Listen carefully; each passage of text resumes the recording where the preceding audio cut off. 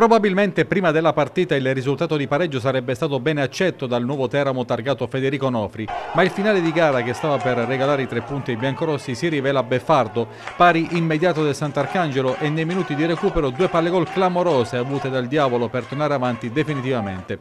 Alla fine però tocca guardare comunque il bicchiere mezzo pieno, perché il Teramo giocava sul campo di una delle rivelazioni di questo inizio di campionato, soprattutto perché la squadra ha messo in campo quella tigna, quella determinazione che non si erano viste viste nelle precedenti esibizioni.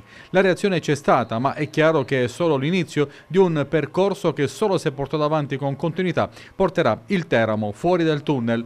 Nofri opta per il previsto 4-4-2, ma è molto offensivo, con Petrella e Forte sulle due corsie, Jefferson e Sansovini in attacco. Per i romagnoli di Marcolini conferma del 3-5-2 con Cori e Cesaretti in avanti, dei tanti ex campo solo per Valentini e Ilari. Partono meglio i padroni di casa sulla corta respinta di Caidi, Carlini lambisce la traversa. Il Teramo entra in punta di piedi nella gara, ma a metà frazione Ilari, alla sua miglior partita in bianco-rosso, rifinisce un'azione elaborata per Sansovini che spara alto. Ancora i due protagonisti a fine frazione, Ilari per Sansovini, stop e girata dal limite da applausi per il sindaco vicinissimo al bersaglio grosso.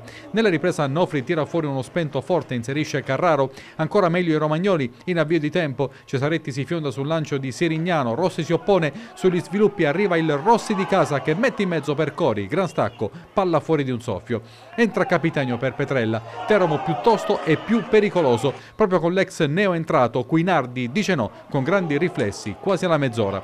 Poco male, perché al 41esimo il Teramo passa, cross di Carcalis, stop e dribbling da antologia di Ilari. Nardi respinge la conclusione ravvicinata, ma nulla può sulla saetta in pieno mucchio di Marco Sansovini. Secondo gol in campionato per il sindaco che sembra significare vittoria, ma non è così perché al novantesimo Carcalis non è preciso nel disimpegno, Merini ne approfitta e crossa per l'incornata di Sasha Cori che non dà scampo a Rossi. 1-1 e il rammarico del Teramo, già grande, cresce ancora di più nei tre minuti di recupero che diventano sei per l'infortunio a Carcalis.